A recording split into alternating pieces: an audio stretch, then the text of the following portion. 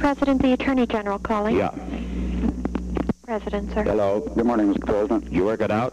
Uh, Baker wants to go, and I told him that uh, you still had uh, the options open, and I would refer to you his availability. Well,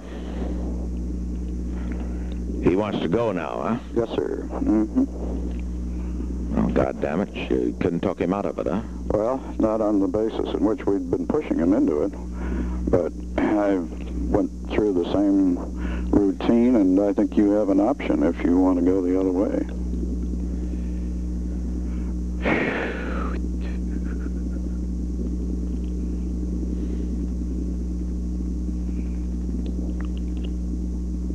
I don't think that it's going to disturb him too much if uh, if you use your options in another direction. Mm-hmm. If you feel stronger in that other direction.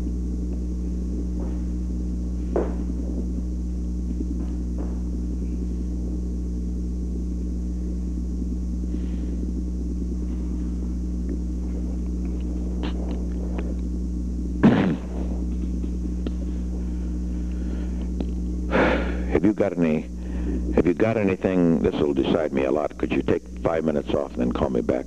What was his record in law school and so forth? Do you know anything about that? No, but I presume we might be able to. I need to know. Figure it out. I need to know. I mean, I want to know whether he's how really, whether he was just a playboy or whether he, can, he buckled down and did things. Because that, I prepared preparing my remarks now, and it's all revolves around that. These are guys that are qualified. You see.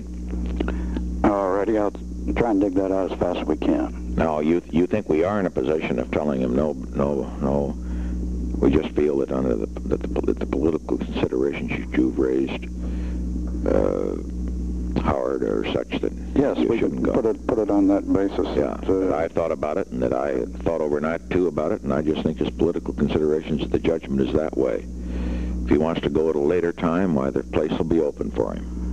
All right, sir. I think can put it that way. See? I think we ought to get back to him right quick on it, though. Yeah. All right. Fine. Call me right back.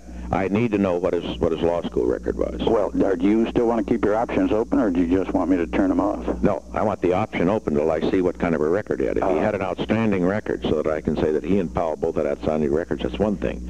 But if it's a jackass record, then I really think I'm going to not. I'm going to close the option and go the other way. I have a feeling it ought to go the other way.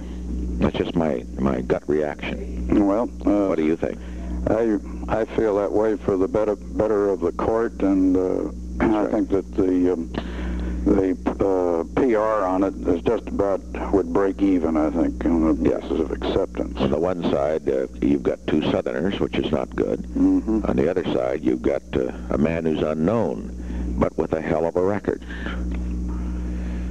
I mean, you can't. Uh, uh, the unknown thing with Rehnquist is going to really not wash good if he was high in his class. Was he first or second or something like He that? He was first in his class. you think he was first? he was first? Yes, sir.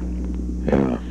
Mhm. Well, that's a hell of a thing. Phi. Beta Kappa, Carson. Phi Beta Kappa, Law first in his class, That's right. law clerk to miss one of the great judges of this century, and uh, practiced law as a lawyer's lawyer and so forth.